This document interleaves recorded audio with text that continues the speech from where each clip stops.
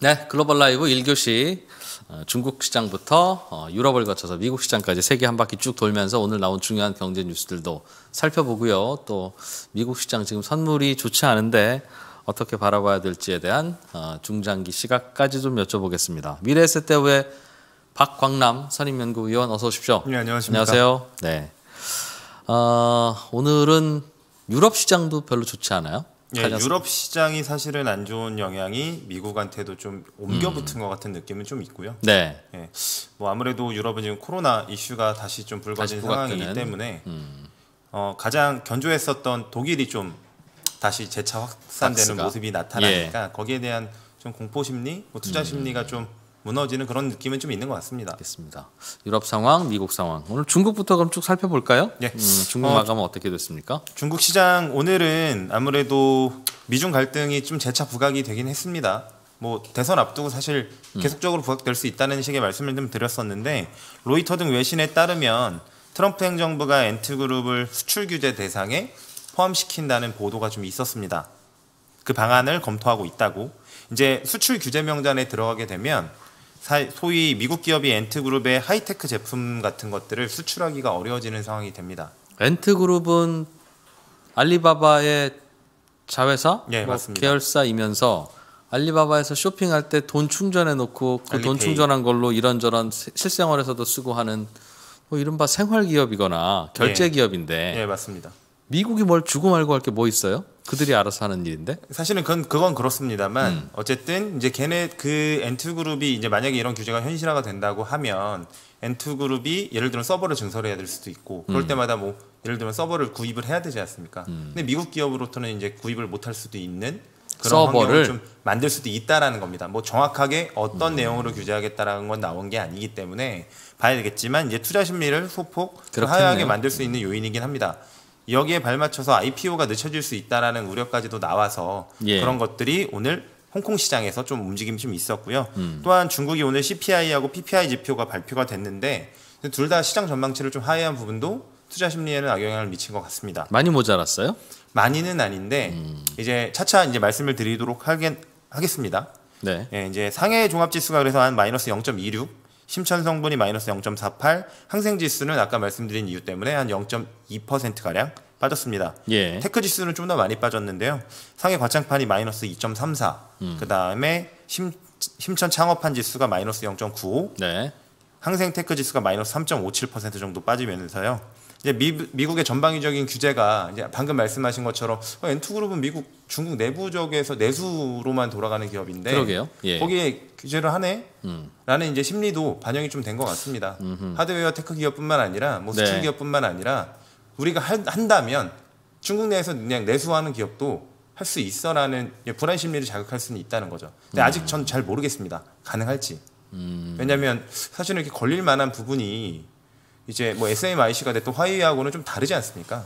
그렇기도 하고 엔트 그룹이 비즈니스를 미국에서 하려고 하면 모르겠는데 그것도 아닌 것 같고. 그러니까 제가 두 가지 요인으로 이제 좀 생각을 해봤는데요. 네.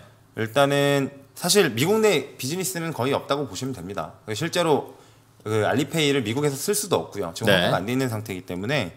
근데 이제 두 가지 측면인 거죠. 첫 번째는 저희가 기존 기존에 미국이 중국을 규제할 때 상징성 있는 기업들을 건드리지 않습니까? 음. 네. 지금 앤트 기업 같- 앤트 그룹 같은 경우에는 지금 최근에 가장 큰 규모의 IPO 기업으로서 굉장히 이제 시장에서 관심이 많은 기업이기 때문에 음. 네. 그런 상징성을 활용하려고 하는 전략일 수도 있다. 어, 그럼 주요 기업들이 중국 증시에 상장되면서 시장의 관심이 중국으로 쏠리는 거가 트럼프 입장에서는 신경 쓰이고 걱정스럽다. 뭐 그것도 생각하는? 있는데 정치적으로 홍보 효과가 좋은 기업이지 않습니까? 엔투 그룹을 트럼프가 음. 규제를 한다. 내가 중국을 때리고 있어를 알겠어요. 보여줄 때뭐 예. 시시한 중국의 기업보다 음. 딱 누가 들어도 알만한 기업을 때리는 게 네. 광고 효과가 크다 보니까 그게 이제 지금 트럼프가 계속적으로 중국을 규제하는 음. 이유 중에 하나지 않겠습니까? 두 번째는 어, 디지털 위안화 등 지금 중국이 새로운 시도들을 지속적으로 하고 있는데 네. 중장기적으로 이걸 좀 방해하려고 하는 미국의 입장에서 그런 목표도 좀 있어 보입니다.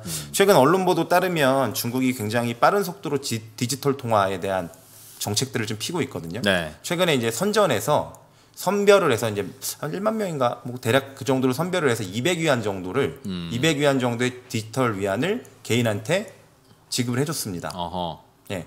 이제 200위안화라고 하면 뭐 한 3만 4천 원 정도인데 이게 말 그대로 지폐가 없는 디지털 형태의 자금을 만들어 준 겁니다. 이제 네. 생각을 해보시면 여러 가지 문제는 있을 수 있겠죠. 보안, 어, 보안 되는 거 맞아? 누구 훔쳐갈 수 있는 거 아니야? 막 이런 일련의 이슈들은 있겠지만 어쨌든 이런 시도를 하는데 거기에 대한 궁극적인 목표는 소위 저희가 다 알고 있는 위안화의 국제화, 국제 결제 비중을 높- 높이려고 하는. 근데 지금 실제 종이 지폐 형태의 위안화로 달러에 이미 전 세계에 깔려 있는 달러 결제 시스템을 깨고 들어가기는 굉장히 어렵습니다. 근데 이제 디지털화가 된다고 봤을 때는 일단은 환경이 바뀌기도 하고요. 편리성이 증대가 되는 부분들도 있고 그런 것들을 다 고려했을 때 어쨌든 중장기적으로는 중국은 이럴 필요가 있다는 거죠. 오늘 제가 출근길에서 그 교수님께서 이제 방송하시는 내용도 봤는데 저희가 지금 경기가 하강 국면이다 보니까 글로벌 각국들이 굉장히 많이 재정 정책을 쓰고 있지 않습니까? 네, 예. 그래서 재정 적자가 늘어나고 그럼 사실은 디지털 위안화 같은 디지털 화폐를 해야 되는 요인도 정부 입장에서는 굉장히 많아집니다. 첫 번째 아까 말씀드린 것처럼 편리함이 늘어나고요. 두 번째는 이제 비용이 줄어드는 효과가 있죠. 발권을 하고 유통을 시키는 종이 화폐를 뭐 그럴 수도 있고요. 예, 그런 비용도 줄어들고 세 번째는 세수의 목적도 있습니다. 정확히 소득이 어떻게 흐르는지 아니까. 그걸 알게 되기 때문에 음. 그래서 사실은 유로가 유로존 같은 경우에도 디지털 유로에 대한 이야기를 하지 않았습니까? 언론 예. 검색하시면 바로 나오거든요. 예, 그런 것들이 일련의 이제 흐름의 과정에 그렇겠어요. 있으니까 어. 그런 것도 좀 있다라고 좀 보실 거 보셔야 될 것 같고요. 정부가 쓰는 돈이 어디에 쓰여 에만 쓰여져라고 지시할 수도 있겠네요. 예를 들면 연 매출 뭐 1억 이하인 자영업자들에게만 쓰세요라고 20만 원씩 나눠주면 그거 어떻게 쓸지 어떻게 알겠어요? 우리나라처럼 카드망이 잘 발달돼 있는 나라가 겨우 해내는 일인데 그런 거 있으면 이제 바로 디지털로 그쵸. 오더 내릴 수 있겠죠. 예. 그런 그런 과정의 편리성은 있기 때문에 아마 전 세계 의 글로벌 국가들도 다 생각은 하고 있고 거예요. 준비는 하고 있을 네. 겁니다. 근데 지금 중국이 빠른 거죠. 예, 아무래도 빠른 상황이다 보니까 여기에 약간 뭐 여러 가지 효과도 누릴 수 있으면서 어깃장도 놓으면 좋은 거 아니겠습니까? 미국 네. 입장에선 뭐 그런 것도 좀 있는 것 같다라는 생각을 하고 있고요. 이제 다, 다만 이제 어쨌든 엔트그룹에 대해서 미 당국이 어떤 방식으로 구체적으로 규제를 하겠다라는 발언은 없었기 때문에 너무 확대 해석하는 것도 조금은 무리가 있다라고 생각은 하고 있습니다. 네. 위챗페이나 알리페이를 이미 쓰고 있는 중국인들이라 뭐 중국 정부가 발행한 디지털 화폐도 쉽게 쓰기는 할 거고요. 할, 예. 같아요. 예, 아마 유럽에서도 준비하고 있다고 하는데 그거 아마 마이너스 금리를 실제로 도입할 수 있는 수단이기도 하니까. 이제 기술적인 문제가 어떻게 해결될지는 아직 모르겠으나 이제 흐름이 변화하고 있다라는 정도로 저희는 음. 이제 받아들이고 저희도 지켜볼 필요는 좀 있을 것 같습니다. 비상금 만드는 일은 이제 없- 그럴 수도 있겠네요. 진짜 어려워지고 있죠. 예. 점점 더. 예. 다른 뉴스로 넘어가 보죠. 일단 중국의 지표들이 발표가 됐습니다. 이제 유동성 지표는 전일 발표됐고 오늘 CPI하고 PPI 지표가 발표됐는데 이것도 좀 예. 짚고 넘어가면 좋겠어서 말씀을 드리는데 9월 중국의 사회 융자 총액이 3.48조 위안으로 시장 전망치였던 3조 위안을 좀 크게 상회를 했습니다. 그리고 M2 증가율도 10.09가 나와서 전망치를 상회를 했고요. 이제 7월에 사실 중국의 인민은행이 이야기를 했던 유동성 조절에 대한 발언하고는 좀 결과가 달라졌다는 부분을 지켜보셔야 될 필요가 있는데 반면에 저희 CPI 지표 오늘 발표된 CPI 지표는 부진한 모습을 보였습니다. 전년 동기 대비 1.7% 정도 올라갔거든요. 근데 중국이 최근에 CPI가 계속 높았어요. 아시겠지만 식품, 식료품, 그러니까 돼지, 음. 그다음에 홍수로 인한 뭐 이런 것들로 네. 높았었는데 근데 갑자기 이제 18개월 만에 최저치를 기록한 거죠. 긍정적인 부분은 음. 돼지 가격 같은 게 많이 하락을 했고요. 식료품 물가가 많이 잡혔다는 부분에 대해서는 네. 좀 긍정적이나 식품을 제외한 CPI는 0.0%입니다. 근데 전월에 0.1%였거든요. 둔화돼요. 0.0이라는 건 음. 소위 디플레이 들어갈 수도 있다라는 우려가 불거질 수 있다는 거죠. 음. 예, 저는 여기서 어떤 걸 생각해야 하면 좋겠냐면 중국의 소비 개선이 네. 생각보다 좀 더뎌지는 그림들이 나타나는 것 같아요. 음. 빠르지 않습니다. 왜냐하면 다른 글로벌 국가 대비해서 팬데믹 네. 상황을 빨리 해결을 했기 때문에 지표의 개선세가 좀 확연해야 되기는 하거든요. 네. 다른 국가에 비해선. 근데 약간 조금 노이즈가 있는 모습이 나타나고 있죠. PPI 경우도 한 2.1% 정도 하락하면서 시장 전망치 1.8%로 하회를 했거든요. 뭐 여기도 여러 요인은 있겠지만 어쨌든 지금 PPI보다 CPI에 대해서 먼저 말씀을 드리면 대신에 이런 소비가 부진하기 때문에 유동성 환경이 좋은 모습이 나타나는 겁니다. 전 그것도 크게 무관하지는 않은 것 같습니다. 중국이 계속 돈 푼다는 거죠? 예, 맞습니다. 그래서 PPI도 이제 말씀을 드리면 어쨌든 중국은 왜 PPI는 왜 부진했느냐라고 얘기를 드리면 PPI는 뭐예요? 이제 생산자 물가 지수. CPI는 소비자 예. 물가고. 이제 중국 같은 경우에 미국하고 달리 미국은 현금을 살포하면서 소비를 부양했다고 하면 중국은 경제 성장률이 깨지는 거를 생산으로 방어를 하지 않았습니까? 음, 그래서 중국 정부가 어떻게 했는데요? 공장을 빨리 돌리게 만들었죠. 강제로 돈, 예. 아, 돈 하나도 안 쓰고 말로만 했네요. 그렇게 돌려라. 맞습니다. 이제 그런 것들이 어떤 어떤 차이점을 만들어냈냐면 예. 미국은 지금 소위 얘기하는 리스타킹 재고를 다시 쌓아야 되는 상황이 됐어요. 왜냐하면 생산이 온전치 않았었는데 소비는 늘었으니까. 아하, 예. 네. 미국은 지금 그런 상황입니다. 그래서 미국 같은 경우에 아마 제조업 지표는 앞으로도 나쁘지 않게 나올 겁니다. 왜? 음. 재고를 쌓아야 돼야 되는 수요만으로도 어느 정도 상당 기간. 예, 가야 되거든요. 근데 반대로 중국은 생산을 먼저 했는데 소비가 빠르게 올라오지 아하, 못하면 아하. 재고로 남아 있는 상황. 그럼 미리 경제가 반등을 했지만 그 이후부터는 계속 슬로우다운한 모습이 나타날 수 있다는 점을 한번 짚어드리는데 네. 반대로 저희가 증시의 관점에서 바라본다면 그럼 지금 그 재고를 소진하고 경제 성장률을 유지를 하려면 중국 정부도 과도하게 긴축을 하기는 어렵다라는 말씀을 좀 드리고 싶어서 이 언급을 좀 드렸습니다. 그래서 저는 지표는 안 좋게 나왔지만 그게 증시에는 좋다는 뜻이군요. 예 맞습니다. 경기 부양의 기조가 지속될 수 있는 요인으로 예. 좀 해석을 하시면 좋을 것 같다 네. 정도의 말씀을 드리고 넘어가도록 하겠습니다. 유럽으로 가볼까요? 예, 유럽 지수가 지금 독일 닥스 됐어요? 지수가. 한 마이너스 2.8. 그 다음에 프랑스도 한 영- 마이너스 2.35. 유로스톡스 50은 마이너스 2.6. 대략 한 2% 중반대 하락을 좀 보이고 있습니다. 어우, 이탈리아는 거의 3% 가까이 빠지네요. 이탈리아가 가장 강하게 네. 맞습니다. 빠지는데 마이너스 한 2.9%. 이유가 있어요? 어, 지금 사실 마크롱 대통령이 프랑스의 야간 통행 금지 조치를 음. 좀 내린 상황에서 네. 이제 독일하고 이탈리아 등 1차 팬데믹 이후에는 이제 스페인, 프랑스와 달리 이제 영국과 달리 상대적으로 방어를 잘했던 국가거든요. 네. 네, 둘 다 일간 확진자 수가 7천 명을 넘어서면서 1차 팬데믹 피크 시점에 도, 육박하는 수치들이 나오기 시작했습니다. 예, 이제 그 부분이 아무래도 투자 심리를 좀 악화하는 것 같은데 영국 같은 경우에는 지금 일간 확진자가 거의 2만 명에 육박을 하고 있고요. 뭐 프랑스하고 스페인은 당연히 1만 명 이상 꾸준히 나오고 있고요.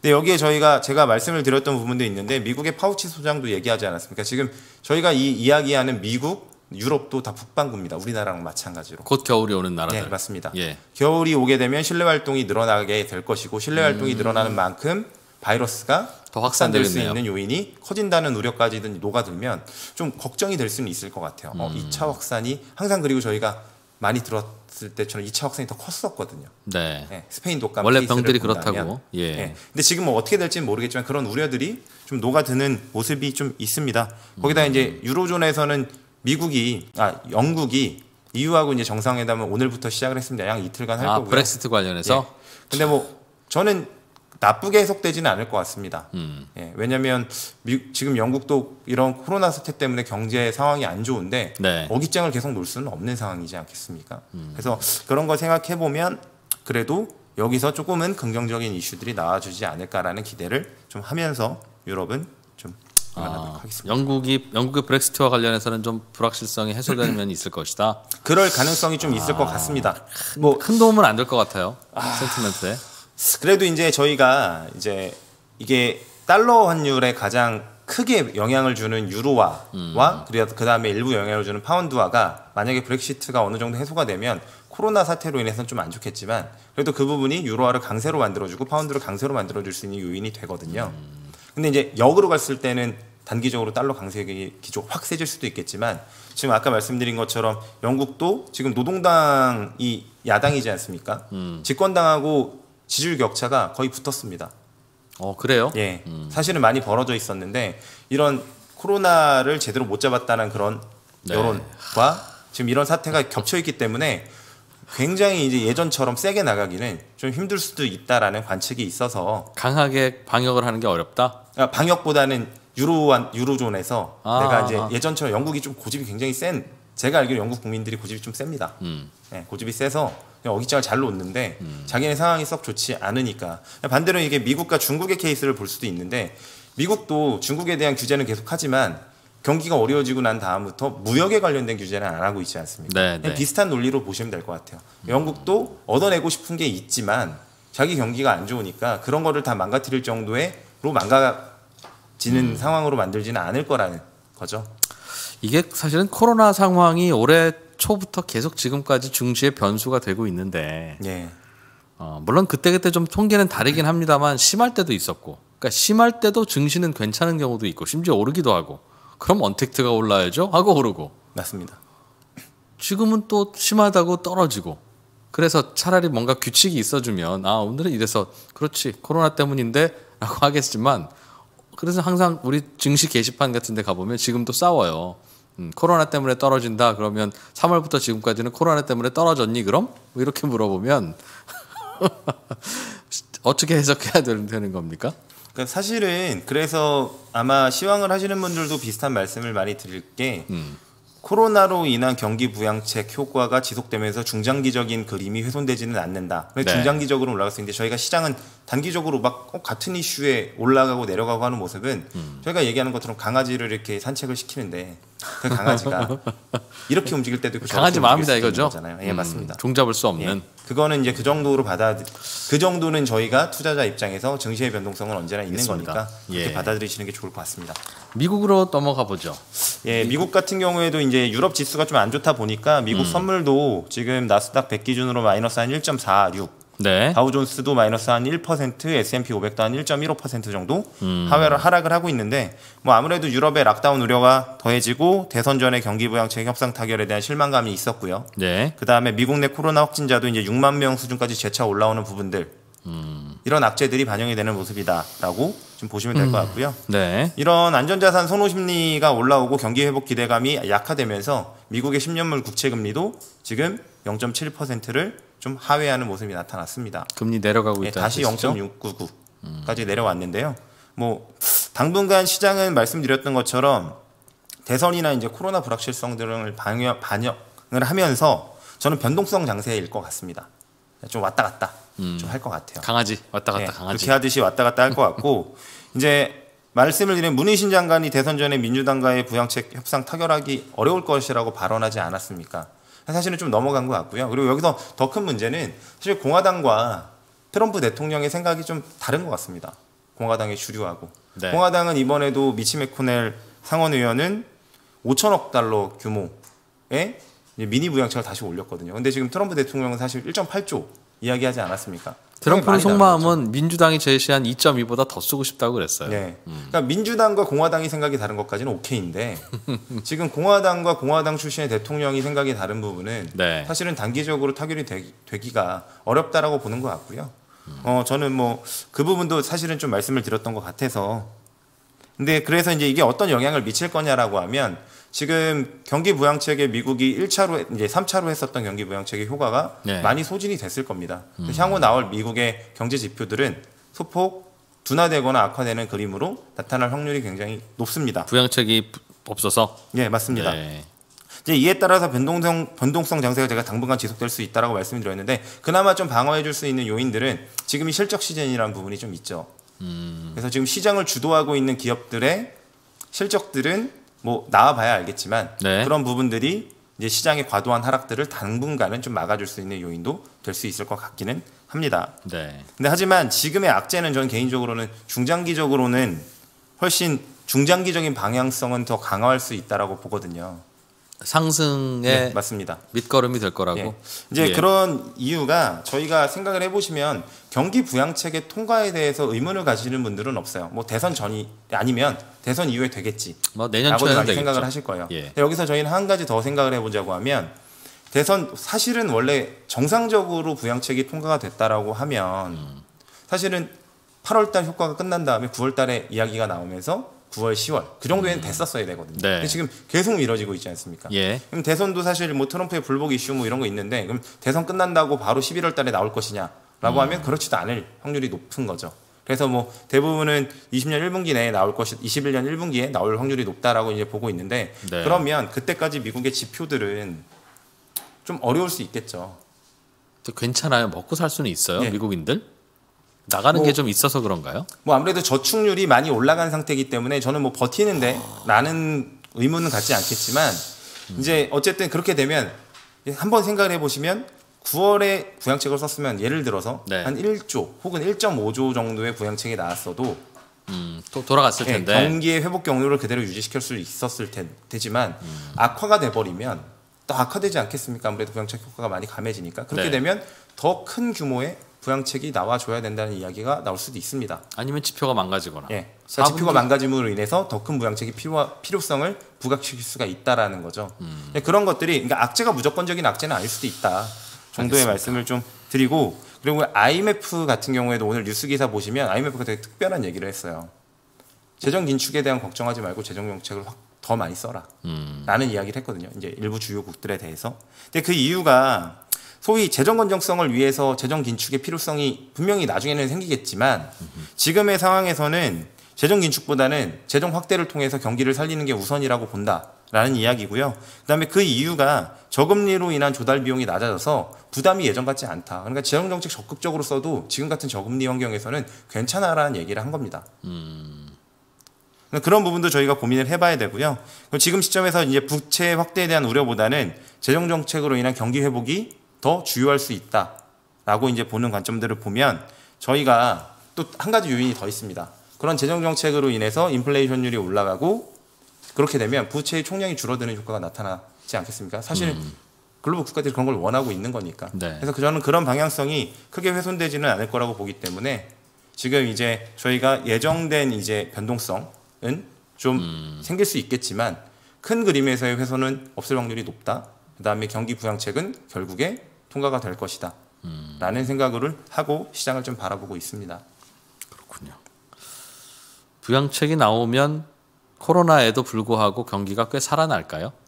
저는 개인적 이제 문제는 여기서 저희 저희가 잠깐 그이 방송 전에 사담을 나눴었지만 네. 코로나라는 게 만약에 1차 팬데믹이 아니라 2차 때도 갑자기 또 사망률을 증폭을 시키면서 컨트롤을 못하는 수준까지 간다면 이건 이야기가 완전 달라질 수는 있겠죠. 네. 근데 지금까지는 그래도 소위 우리나라의 케이스를 바라봤을 때 굉장히 우리나라가 이제 이례적인 케이스이긴 한데 굉장히 잘하니까요. 근데 그런 걸 봤을 때 분명히 컨트롤이 가능한 바이러스인 것 같기는 합니다. 어느 정도 수준에서. 네. 네, 그래서 그런 것들을 그리고 기대하고 백신이 지연되기는 했으나 어쨌든 백신에 대한 기대감도 계속적으로 나타날 수 있는 환경이 왜냐하면 그때 처음 3월을 시점하고 많이 다르지 않습니까? 연구 개발도 어느 정도는 진행이 된 거니까요. 네. 그런 것들까지 고려하면 그때의 케이스를 단순히 지금 다시 보면서 어 코로나 때문에 다시 또 그렇게 망가지는 거 아니야라는 생각은 좀 지양하시고 보시는 게 저는 좋을 것 같습니다. 멀리 내다보면 상향인 건 맞지만 그 중간에 거쳐가야 할 길은 울퉁불퉁한 것도 사실이다. 예, 맞습니다. 얼마나 빠질지는 사람들 마음에 달려 있는 것 같은데 예, 뭐 맞습니다. 깊기야 하겠나 하는 생각은 갖는다 그 말씀이었어요. 예. 네. 이 정도 하면 될 것 같은데 예. 혹시 어, 다 됐죠? 예. 아, 오늘도 역시 깔끔했습니다. 멀리 내다보는 남자 박광남 선임연구위원이었습니다. 고맙습니다. 예, 감사합니다.